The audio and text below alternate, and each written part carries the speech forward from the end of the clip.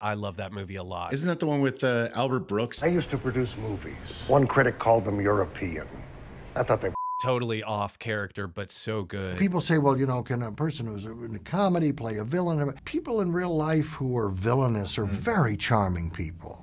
That's why they're successful at it. I've heard good things. The soundtrack is great.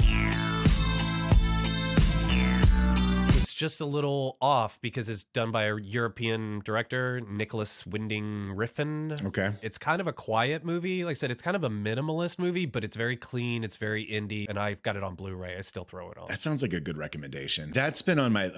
I hate how much a list of shame that I have. It's becoming a long list. Nothing but shame.